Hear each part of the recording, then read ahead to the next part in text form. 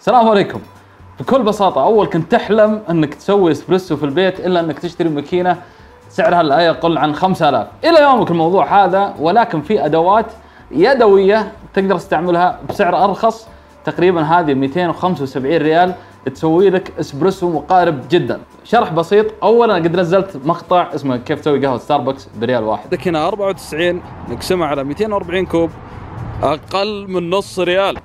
اللي هي القهوة كانت ال black كنت مستعمل أداة ال French press. أداة جميلة إلى يومك أستعملها تقريبا الفيديو له سنتين أو ثلاثة. لكن أسوي لك قهوة سوداء. الإسبريسو هذه القهوة المركزة اللي تقدر تسوي فيها الأمريكانو ولا إذا بغيت تسوي iced caramel macchiato وتبغى تسوي Spanish latte الطقة ذي كلها تسويها بالأداة هذه. وسوي فيها أحلى إسبريسو. طبعا تلقاها تلقاها الظاهر ببيت التحميص خطوة جمل المحلات اللي ممكن أو المحلات اللي توفر الأدوات لمحلات القهوة. فهذه محاط عندها أدوات وقهوة سادة زي هذه تأخذها منهم.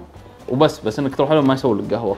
خلونا نشوف أداتنا العظيمة. بسم الله الرحمن الرحيم. زي ما أنتم شايفين أداة بسيطة خفيفة لطيفة ما فيها أي قروشة.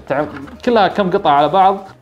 طبعا فكرتها انه فيه جوا هنا هذا الكوب اللي تاخذ فيه القهوة حقتك اللي هو مقياس وبنفس الوقت تضغط عليه الاسبريسو حتى إنه يطلع شيء كويس. هنا يتم الاستخلاص القهوة. القطعة هذه يكون فيها البن تضغط عليها الموية فتطلع القهوة من هنا تتصفى وتطلع. وهذا وش وراه علق؟ دقيقة. وهذا الشيء المفروض إنه يطلع معنا الحين. أيوه. جو لا يبينا نسحبها بس فيه شوي مقاومة. يا ساتر. طبعا هذه القطعة اللي تركب فوق هذه القطعة عشان تحط الموية هنا وتضغطها وتطلع لك قهوتك وهذه الأداة اللي تحطها فوق وتضغط عليها. يعني شوف تصير تمسكها كذا وتضغطها عشان تطلع لك القهوة الجميلة اللي بتجي بعد شوي. فخلونا نجربها ونشوف القهوة اللي تطلع معنا خل خلي الأغراض هذه على جنب.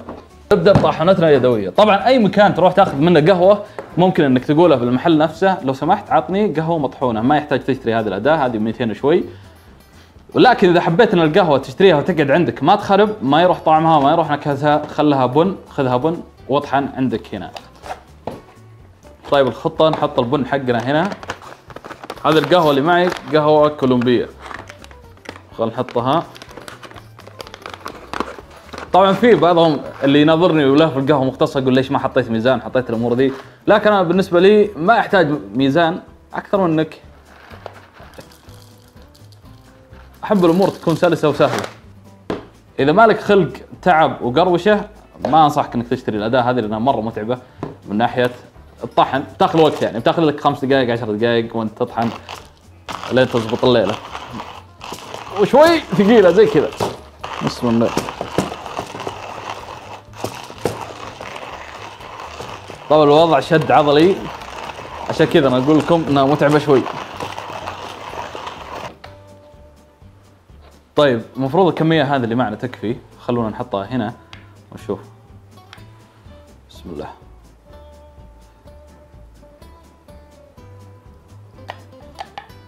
لا ما تكفي. يبي لنا زيادة. ولا تقدر تثبتها كذا على الكرش عرفت؟ عشان تثبت. كرشه سلاح سري للي ما عنده كرشه الله يعينه. نحط القهوة هنا. حلوين؟ والحين الغطا يستعمل كشيء يسمونه تامبر فتحط الغطا كذا تضغط. إذا جيت تتعمق في الموضوع بيقول لك إن الضغطة لازم إنها بقوة ما أدري كم يعني تحط هذه على ميزان. وتشوف قوة ضغط يدك كم. يعني تطلع معك القهوة مضبوطة. بس إحنا قاعدين نجرب نشوف الإنسان الطبيعي اللي ما يبغى يسوي حركات آه، زايدة عن اللزوم وش بيطلع معه؟ نقفلها. نحكم الاغلاق يا سلام. حط مويتنا فيه. تقريبا إما إنك تعبيه 60 ملي إذا بغيت دبل شوت وال 40 ملي إذا بغيت أقل. طيب غطيناها. الحين نحطها هنا. نقفل عليها برضو. فيه الموية فيه. تشوف ميزان هنا في أرقام. بحط الموية لين 60 ملي. بسم الله.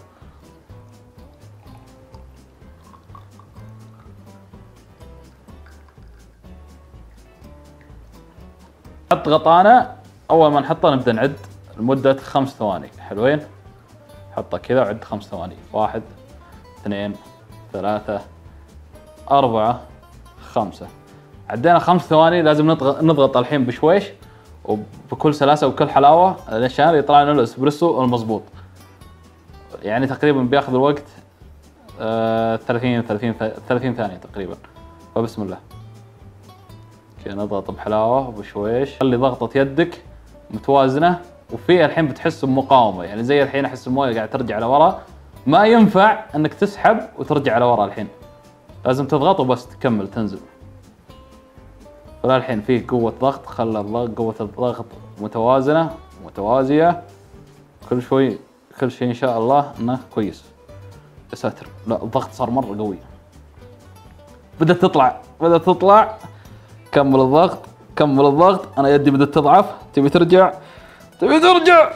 لا ما في. لازم نقوم. غلطي إني حطيت إصبع واحد بس. نكمل عليها نكمل عليها نكمل عليها. لين توصل الأخير. في الأخير بتحس فيه ضغط أقوى. كمل وتضغط عليها بيدك. يا سلام. ونصبر لين تطلع قهوتنا كلها. الخطأ اللي سويته إني قاعد أضغط وأنا جالس وحطيت إصبعي بس. المفروض إني حاط يدي كاملة. عشان يجي الضغط متوازن وكويس. وانت واقف تقدر تضغط بجسمك أكثر. عرفت؟ فنشوف الحين قهوتنا اللي طلعت معنا. بسم الله. الله طيب خلونا الحين نجرب إيش نسوي. آيس كراميل مكياتو طبعا كوب ستاربكس ميزته انه يعطيك فيه خطوط هنا فتقدر تعرف تصب الحليب إلين وين. لازم نصبه إلى ثالث خط تقريبا. هذا الحليب الكميه المطلوبة. هذا الفانيلا طبعا نصيحتي إنك ما تأخذ هذا الشيء إنك تأخذ آه فانيلا من شركة مونن أنا رحت دورت عنه بس ما لقيته وهذه شكلها. فإذا لقيته خذ هذا لا تأخذ هذا. بس نحط شوي هنا. طبعا هذا يمشي أمورك بس إنه الأفضل كوزنية الفانيلا هذاك. كراميل نحطه على الأطراف. كذا. يا سلام يا سلام. طبعا على حسب أنت تبغاه كذا ولا لا. قهوة حقتنا ولا لا؟ هنا ثلج بعدين قهوه هم دائما يسوون ثلج بعدين قهوة. حطينا الثلج حقنا. نحط فوقه القهوة. بسم الله. يا سلام. كذا. ونجيب سترو حقنا. ونبدأ نحرك. الله الله الله بالله إيش رأيكم؟ ما هو iced caramel macchiato نفس الشكل اللي تعرفونه؟ طبعا بيفرق طعمه مو بزي جاي 100% زي ستاربكس لأن الوضع يحكمه البن اللي استعمله فممكن تروح ستاربكس تاخذ البن حقهم وتسوي نفس الموضوع بيطلع معك.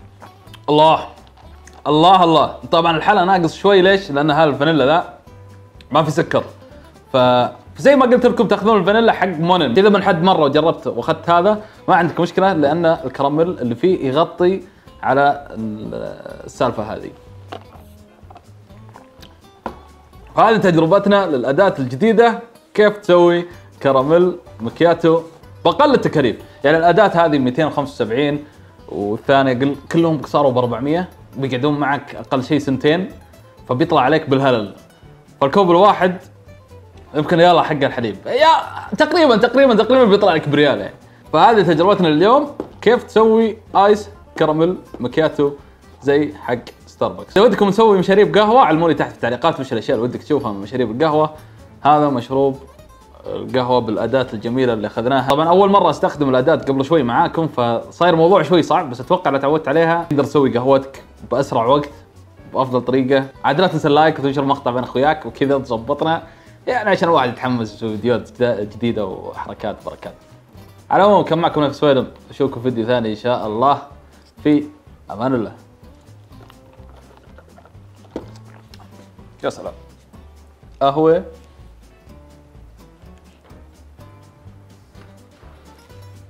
من الآخر شفتوا اللي باقي جوا؟ للحين فيه موية. فأتوقع إن إلى الحين ما ضبط وزنيه كيف تفلتر الدنيا مضبوط أو انها تجيك كذا. والله ما أدري. على العموم تجربة مرة رهيبة. أداء مرة رهيبة بسعر مرة رهيب. طلع عوافي يعني.